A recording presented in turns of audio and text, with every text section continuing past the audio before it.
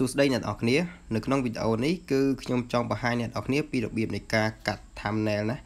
ដូចជារូបដែលខ្ញុំបង្ហាញនៅក្នុងវីដេអូហ្នឹងអញ្ចឹងគឺរបៀបនៃការកាត់ thumbnail នៅលើទូរស័ព្ទដៃ iPhone គឺថាលក្ខណៈដែលយើងអាចធ្វើលើ iPhone គឺបានស្អាតគួរសមដែរដូច thumbnail មួយហ្នឹងអញ្ចឹងគឺខ្ញុំធ្វើវានៅលើទូរស័ព្ទដៃ iPhone ផ្ទាល់តែម្ដងបន្តិចទៀតនេះក្រោយពេលដែលខ្ញុំបង្ហាញថាការកាត់នៅលើ iPhone ហ្នឹងវាស្អាតមិនខ្លះខ្ញុំនឹងបង្ហាញពីកម្មវិធីនិងរបៀបកាត់នៅក្នុងកម្មវិធីហ្នឹង ឥឡូវខ្ញុំសូមឲ្យអ្នកនរគ្នាមើលសិនពី thumbnail ដែលខ្ញុំបានធ្វើនៅលើទូរស័ព្ទដៃ iPhone របស់ខ្ញុំណាសម្រាប់ thumbnail មួយនេះគឺខ្ញុំធ្វើវាសម្រាប់វីដេអូមួយហ្នឹងណាឥឡូវយើងទៅមើល thumbnail បន្ទាប់ទៀតណានេះដូចជា thumbnail នេះអញ្ចឹងគឺថាយើងអាចធ្វើវាបានណាស្អាតលក្ខណៈសាមញ្ញប៉ុន្តែមើលទៅគឺតាក់ទាញឲ្យស្អាតទៀតសំខាន់គឺស្ថិតលើគំនិតច្នៃប្រឌិតរបស់យើងទេ មានដូចជា thumbnail មួយនេះ thumbnail មួយនេះអញ្ចឹង thumbnail មួយនេះ មានមួយនេះទៀត thumbnail មួយនេះ គឺថាមានច្រើនទៀតណាដូចជានេះអញ្ចឹងឯនេះតាមពិតខ្ញុំធ្វើនៅលើទូរស័ព្ទ iPhone ទេប៉ុន្តែមើលទៅស្អាតស្អាតដូចជានេះអញ្ចឹងឯណាមើលទៅគឺថាវាមានលក្ខណៈតាក់ទាញណាគឺវាអាចយកជាការបានបើមិនជាយើងប្រើក្នុងកុំព្យូទ័រគឺយើងត្រូវប្រើវា ក្នុងកម្មវិធី Photoshop ប៉ុន្តែក្នុងទូរស័ព្ទគឺមិនបាច់ទេហើយលឿនទៀតតោះ ឥឡូវកុំឲ្យខាត់ពេលយូរយើងទៅមើលកម្មវិធីនឹងតែម្ដងតាកម្មវិធីនេះគឺមានឈ្មោះថា Photo អ្នកទាំងអស់គ្នាគ្រាន់តែចូលទៅកាន់ App Store បន្ទាប់មក search ពាក្យថា Photo នឹងមកនឹងឃើញកម្មវិធីហ្នឹងហើយកម្មវិធីហ្នឹងគឺ free ទេបន្ទាប់មកយើងចុចដំឡើងវាធម្មតាមកក្រោយពេលដែលយើងដំឡើងវាហើយយើងចុចបើកប្រើក្នុងកម្មវិធីមកចាំខ្ញុំបង្ហាញពីរបៀបនៃការប្រើណាតែឥឡូវយើងចុចចូលក្នុងកម្មវិធីហ្នឹងមកអានេះគឺជាតម្រងនៃកម្មវិធីហ្នឹងណាគឺវាមាន ចំណុច3ឲ្យយើង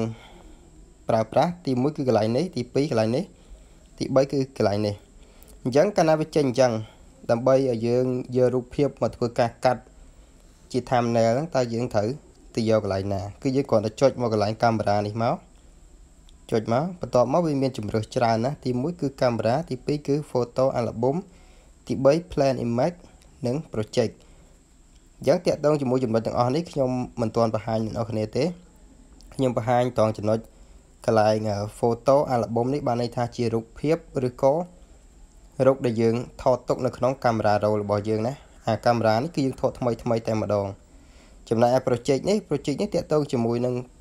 ការងារដែលយើងធ្លាប់ធ្វើហើយកន្លងមកហើយប៉ុន្តែយើង save វាទុក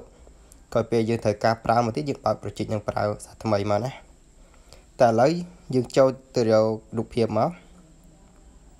យើងចុចកន្លែង photo album នោះមកដើម្បីធ្វើការកាត់ឲ្យបានជា thumbnail ស្អាតមួយចឹងតាក់ទងជាមួយចំណុចនេះដើម្បីធ្វើ thumbnail ដាក់ទៅឲ្យត្រូវជាមួយទំហំ YouTube របស់យើង គឺខ្ញុំសូមឲ្យអ្នកនរគ្នាធ្វើការ download នៅ background ទំហំ12.8គុណនឹង720បានន័យថា1280គុណនឹង720គឺជាទំហំស្តង់ដានៃ background នៃ thumbnail របស់ YouTube ហ្នឹង អញ្ចឹងអ្នកនរគ្នា down នៅក្នុង Google មកគ្រាន់តែ search ថា background 128គុណ720មកបន្ទាប់មកអ្នកនរគ្នា down download វា save វាទុកក្នុងកាមេរ៉ា RAW របស់យើងមកបន្ទាប់មកមុននឹងយើងធ្វើការកាត់តគឺយើងត្រូវបើកអា background នឹងមកសិនដូចរបស់ខ្ញុំអញ្ចឹងខ្ញុំបាន save វានៅក្នុងកន្លែងនេះនេះខ្ញុំ save វានៅក្នុងកន្លែងនេះខ្ញុំចូលបើកយកមកនេះនេះដូច background ពណ៌ពណ៌សអញ្ចឹងនេះគឺយើង save background អញ្ចឹងមក background នោះទំហំវាគឺបដោយវាគឺ12.8គុណនឹង720ក្រោយពេលយើងចុចបើកយើងចុចពាក្យថាថាដានឡើងនេះបន្ទាប់មកវានឹងចូលមកដល់កន្លែងហ្នឹងហើយហេតុអីបានយើងចាំបាច់ត្រូវ down background ទំហំ12.8គុណនឹង720មកធ្វើអីហេតុអីយើងមិនបើករូបភាពយកមកកាត់តែម្ដងយោងទៅតាមការដែលខ្ញុំធ្លាប់ធ្វើនៅពេលដែលយើងបើកមកយកមកកាត់យកតែម្ដងពេលខ្លះទំហំហ្នឹងគឺវាធំ ដាក់ជាមួយនឹងទំហំ YouTube របស់យើងគឺអត់ត្រូវគ្នាទេចូលនៅពេលដែលយើងចូលកន្លែងដាក់ thumbnail អា custom thumbnail ហ្នឹងគឺវាអត់ឲ្យទេដោយសារតែទំហំដែលយើងកាត់ហ្នឹងគឺធំអញ្ចឹងដើម្បីដាក់ឲ្យត្រូវគឺខ្ញុំសូមឲ្យអ្នកនរគ្នាធ្វើការ down ឬក៏ save នៅ background មួយដែលមានទំហំ12.8គុណនឹង720ហ្នឹងជាមុនសិនបន្ទាប់មកយើងបើកវាធ្វើជាគំរូបន្ទាប់មកចាំយើងចូលទៅយករូបភាពមកធ្វើការកាត់ ដើម្បីចូលយករូបភាពគឺយើងចុចកន្លែងត្រេ3នេះចុចចូលកន្លែងហ្នឹងមកបន្ទាប់មកអ្នកនរគ្នាចូលកន្លែងពាក្យថា add image នេះយើងចុចអាហ្នឹងមកយើងចូលទៅយករូបភាពនៅក្នុងកាមេរ៉ា roll របស់យើងហ្នឹងដែលយើងបាន save ទុកណាឧទាហរណ៍ថាយើងចង់បានរូបភាពមួយណាយើងចុចយកវាមកតមកវាចេញអញ្ចឹងយើងចុចពាក្យថាដាននេះដានខាងលើនេះតមកវាចេញអញ្ចឹងចេញមកតមកយើងគ្រាន់តែយកម្រាមដៃចោលដៃរបស់យើងចុចនៅលើហ្នឹងមក ចុចមកឲ្យវាចេញមុខងារទាំងអស់នេះគឺវាមានសាយសាយដើម្បីពង្រីកពង្រីករូបហ្នឹងឲ្យធំឲ្យតូចអានេះគឺប្រវាយណាវាយនេះបានន័យថាឲ្យប្រវាយទៅតឹងហ្នឹងវែងខ្លីជាមួយយើងអូសវាឡើងគឺវែងចេះដល់ពេលហាយនេះគឺឲ្យវាខ្ពស់ទៀតវិញណាគឺវាសេរីបានចឹងណាអាហ្នឹងតកតទៅជាមួយនឹងសាយតកទៅជាមួយនឹងកន្លែងធាលនេះអាហ្នឹងគឺសេរី ឲ្យវាប្រឆិតប្រឈៀងជាមើលបើយើងចុចដកមួយមួយវាយឺតបើយើងអូសវាលឿនណាយើងអាចបវលវាអាហ្នឹងណាអាហ្នឹងយើងចង់បវលវាបានហើយតកតងជាមួយនឹងមូមូនេះពេលយើងចុចយ៉ាងមកគឺយើងចុចព្រួយឡើងលើវាអង្កលឡើងលើចុចព្រួយមកក្រោមវាអង្កលមកក្រោមឆ្វេងមកឆ្វេងស្ដាំមកស្ដាំណាជាមួយដល់ពេលយើងចុចទៅវាអង្កលយ៉ាងនេះចុចមកក្រោមវាមកចេះចុចមកឆ្វេងវាមកចេះចុចមកស្ដាំគឺវាមកចេះហើយអាហ្នឹងក៏យើងអាចផ្លាស់ប្ដូរឲ្យបានដែរយើងគ្រាន់តែយកដៃរបស់យើងចុចនៅកន្លែងនេះ នៅកន្លែងនេះតមកយើងទាញវាទៅយើងអាចអង្កលវាបានធម្មតាឃើញទេ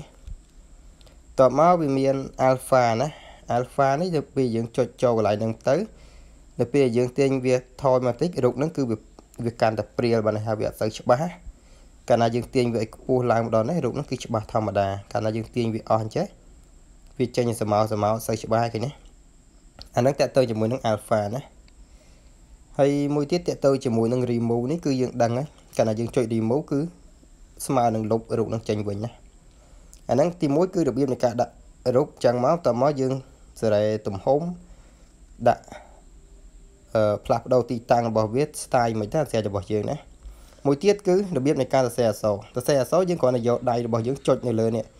background ទាំងអស់នេះកន្លែងនេះក៏បានកន្លែងនេះក៏បានហើយយើងចុចយ៉ាងទៅវានឹងឃើញពាក្យថា add text តមកយើងយកដៃរបស់យើងចុចនៅកន្លែងពាក្យថា add text ហ្នឹងមក ពេលនោះវានឹង load ឲ្យយើងវាយអក្សរវាយអក្សរយើងអាចវាយជាភាសាខ្មែរក៏បានជាភាសាអង់គ្លេសក៏បានអញ្ចឹងឧទាហរណ៍ថាបើខ្ញុំវាយជាភាសាខ្មែរយ៉ាងនេះយើងវាយជាភាសាខ្មែរគឺវាចេញអក្សរអញ្ចឹងអត់ស្អាតទេទៀតទៅជាមួយអក្សរក៏អត់ខុសពីរូបភាពដែរណាដល់ពេលដែលយើងចុចលើលើអក្សរគឺវានឹងចេញមាន text មាន font មាន style មាន size មានធាលហើយនឹង move នេះ តើទៅជាមួយនឹង text ហ្នឹងគឺក្នុងករណីដែលយើងសរសេរហើយយើងចង់បន្ថែមអក្សរទៀតយើងចុចកន្លែង text ហ្នឹងមកគឺយើងអាចសរសេរអក្សរបានបន្ថែមទៀត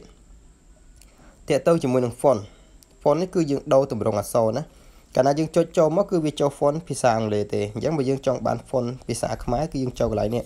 my font នេះគេនេះចុចមកវាមានអា font ទាំងអស់នេះសុទ្ធតែជា font ដែលយើង download មកទេមិនមែនថាបើកម្មវិធីនឹងមកគឺបាន font នឹងមកតែម្ដងទេអញ្ចឹងរបៀបនៃការ download អ្នកនរនេះគ្រាន់តែចុចតាម ការណែនាំរបស់វាមក how to install font បើសិនជាអ្នកនរគ្នា download បានទេចាំវីដេអូក្រោយចាំខ្ញុំធ្វើពីរបៀបនៃការ download font ហ្នឹងតោះឥឡូវ font ភាគច្រើនដែលខ្ញុំប្រើគឺខ្ញុំចូលចិត្តយកតែ font ខ្មែរ OS Moonlight អញ្ចឹងខ្ញុំចុចយកអាហ្នឹងមកតមកឃើញវីដេអូហើយណាតមកយើងចង់ផ្លាស់ប្ដូរអក្សរនេះយើងចុចកន្លែង move នេះដូចគ្នា យើងកិលវាឡើងលើចុះក្រោមឆ្វេងស្ដាំណាតមកបើយើងចង់បដូរទំហំក៏ដូចគ្នាដែរ យើងចុចផ្សាយមកទាញវាទៅតូចធំតាមនឹងមកយើងសេរីធ្វើម៉េចឲ្យសមដែលយើងចង់បានណាហើយតកតងជាមួយនឹង style នេះយើងចង់ដាក់ពណ៌អក្សរណា text ហ្នឹងបានន័យថាពណ៌អក្សរនឹងទាំងម៉ូណាយើងចង់ដាក់ខ្មៅដាក់ក្រហមដាក់លឿងអីក៏បានដែរស្រាប់តែយើងទេអាហ្នឹងណាឥឡូវខ្ញុំដាក់ពណ៌ខ្មៅចុះទាក់ទងជាមួយនឹង stroke stroke ហ្នឹងបានន័យថាពណ៌នៅខាងក្រៅនេះឥឡូវយើងចុចកន្លែង stroke ហ្នឹងមកបន្តមកឥឡូវខ្ញុំចុច stroke វិញខ្ញុំយក stroke ពណ៌ក្រហម ឃើញទេកាលណាយើងចុច stroke ពណ៌ក្រហមគឺអាពណ៌ក្រហមនៅខាងខាងហ្នឹងអាហ្នឹងគេហៅថា stroke អីអញ្ចឹងយើងចង់បានអា stroke ហ្នឹងពណ៌កាន់តែស្ដើងកាន់តែក្រាស់យើងចុចកន្លែងនេះកន្លែងវាយវានេះឃើញទេយើងអូសអានឹងមកមកយើងអូសវាអញ្ចេះវាឡើងកាន់តែក្រាស់ថយមកអញ្ចេះវាកាន់តែស្ដើងទៅថយឡើងមកគឺកាន់តែក្រាស់ហ្នឹងអញ្ចឹងគឺយើងសេរីនៅកន្លែងនេះអាហ្នឹងណាហើយតាក់ទៅជាមួយនឹង background នេះយើងចុចកន្លែង background ហ្នឹងមក នៅពេលយើងចង់ដាក់ background ពណ៌អីឥឡូវទៅតែពណ៌ផ្កាឈូកនៅពេលយើងដាក់មកគឺវាចេញអញ្ចេះឥឡូវយើងដល់ពេលយើងធ្វើហើយយើងចុចដានចុចដានមកអ្នកនរគ្នាឃើញហ្នឹងណា background ហ្នឹងវាចេញអញ្ចឹងហើយពណ៌អក្សរវាអញ្ចឹងហើយនឹង stroke វាពណ៌ក្រហមនេះយើងដាក់ធ្វើម៉េចឲ្យស្អាតទៅតាមការស្រឡាញ់របស់យើងអានេះខ្ញុំគ្រាន់ធ្វើបង្ហាញទេតើមកបើយើងចង់ effect វាបន្ថែមទៀតយើងចូលកន្លែង style ហ្នឹងទៅដែរមកវានឹងមានមុខងារច្រើនទៀតមុខងារមុខងារ text stroke ហើយនឹង background នេះអ្នកនរគ្នាដឹងហើយឥឡូវនៅកន្លែងកន្លែង style នេះមកទៀតយើងចុចចូលកន្លែងហ្នឹងមកកន្លែងហ្នឹងវាមានមាន underline វាមាន shadow ហើយនិង spacing អញ្ចឹងកាលណាយើងចុចចុចឥឡូវយើងនិយាយពី shadow សិន shadow មានមុខងារច្រើនទេឃើញទេវាមាននេះបើយើងចុចអានេះចេះវាចេញស្រមោលខ្មៅខ្មៅនៅកន្លែងអក្សរយើងហើយយើងចុចចុចអានេះចុចមកវាចេញខ្មៅដែរប៉ុន្តែខ្មៅមកអញ្ចេះហើយយើងចុចអានេះវាអញ្ចេះចុចបន្ទាប់មកទៀតមកអញ្ចេះ ចេះនេះធម្មតាវិញនេះចុះតាក់តងកន្លែង spacing នេះតាក់តងកន្លែងហ្នឹងអ្នកនរគ្នា edit មិនធ្វើមិនឲ្យមើលទៅស្អាតហើយតាក់តងកន្លែងនេះលើកឧទាហរណ៍ថាយើងដាក់អញ្ចេះ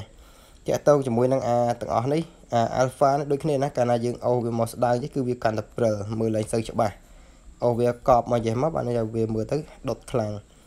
blur នេះក៏ដូចគ្នាដែរធ្វើវាព្រិលហើយណាអូសយ៉ាងមកហើយកន្លែង x ហើយ y នេះគឺកម្រិត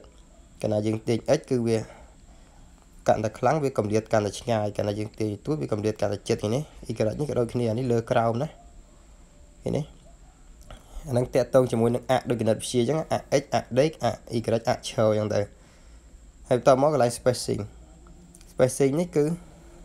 វិដកវិដក clear អក្សររបស់យើងហើយតកតងនឹង underline នេះគឺដាក់បន្ទាត់ដៃធម្មតាអញ្ចឹងអញ្ចឹងក្រោយពេលដែលយើងធ្វើហើយអញ្ចឹងមកអ្នកនរគ្នាចុចពាក្យថាដានមក គឺជាការស្រេចណាអញ្ចឹងតកតងជាមួយទី1គឺរូបភាពយើងចេះដាក់ហើយអំកិលហើយហើយនឹងខ្សែអក្សរមួយទៀតយើងចង់បន្ថែម style បន្ថែមទៀតយើងយើងចុចកន្លែងនេះ tray 3នេះមកវាមាន add item ណាអញ្ចឹងយើងចុចកន្លែង add item ហ្នឹងមកវាមានច្រើនទៀតគេណាដើម្បីយើងប្រើការទៅតាម ការចាំបាច់របស់យើងវាមាននេះយើងចុចមកនេះមកមានចេះមានចេះមានចេះណាបន្ទាប់មកយើង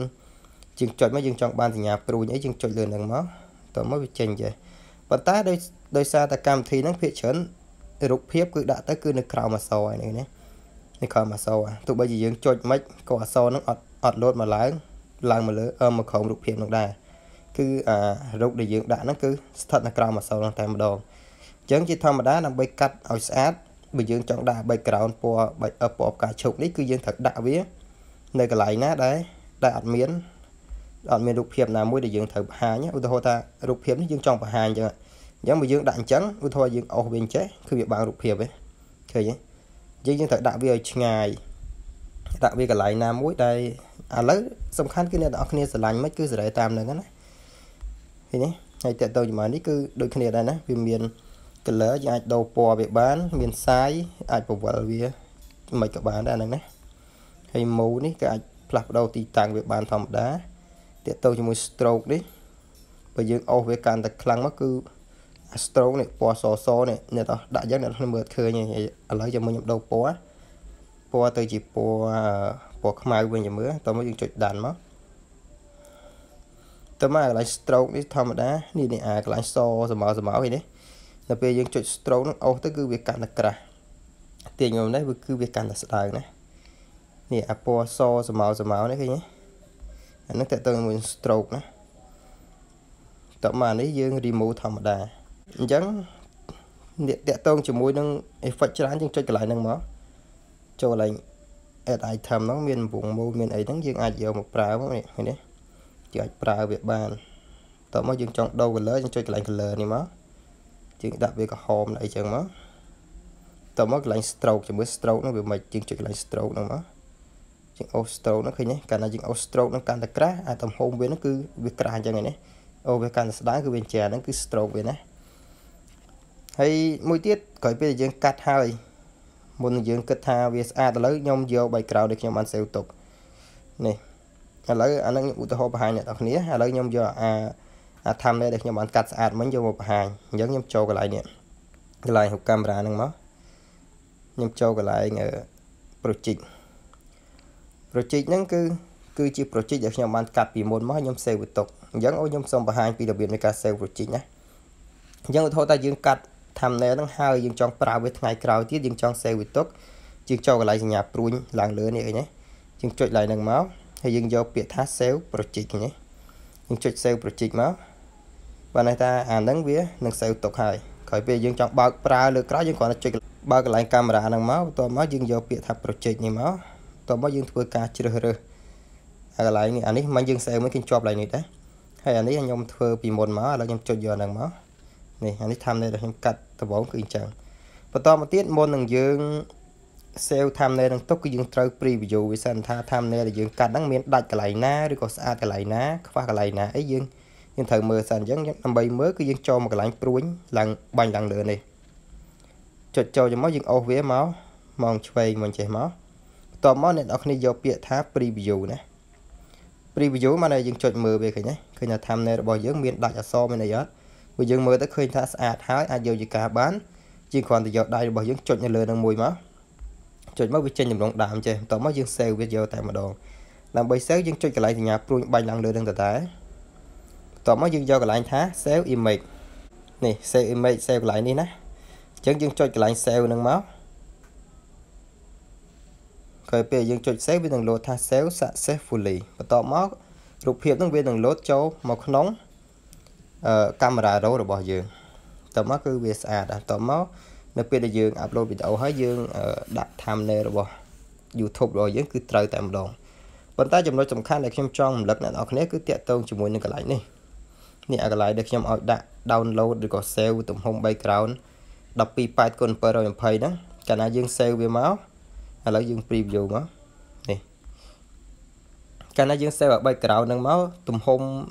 thumbnail ដែលយើងកាត់ហ្នឹងគឺមានទំហំ12.8គុណ720តែម្ដងអញ្ចឹងគឺយើងយកទៅដាក់ thumbnail YouTube របស់យើងគឺវាត្រូវអត់តូចអត់ធំគឺល្មមតែម្ដងប៉ុន្តែបើសិនជាយើងអត់យកអាគំរូបែកក្រៅដែលខ្ញុំឲ្យអ្នកនរគ្នា down ឬក៏ save ទុកហ្នឹងយកមកដាក់មុនទេ គឺយើងយកមកកាត់តែម្ដងជួនកាលអ្នកនរគ្នាដាក់ទៅគឺអត់ត្រូវទេ ភាគច្រើនខ្ញុំធ្លាប់ធ្វើអញ្ចឹងពីមុនមកកាលខ្ញុំទំរៀនធ្វើដំបូងណាដាក់ដំបូងមកគឺគឺថាដាក់ទៅវាអត់ត្រូវទេទំហំហ្នឹងវាធំជាងអញ្ចឹងយើងត្រូវយកវាមកកាត់ម្ដងទៀតអាហ្នឹងគឺជាបញ្ហាអញ្ចឹងដើម្បីកុំឲ្យអ្នកនរគ្នាធ្វើម្ដងជាពីរដងយោងតាមបទពិសោធន៍ខ្ញុំឲ្យអ្នកនរគ្នាធ្វើតាមខ្ញុំមកគឺយើងកាត់តែម្ដងគឺស្អាតតែម្ដងហើយ thumbnail វាគឺអាចយកជាការបានគេនេះអត់មានជាប់ logo អីទាំងអស់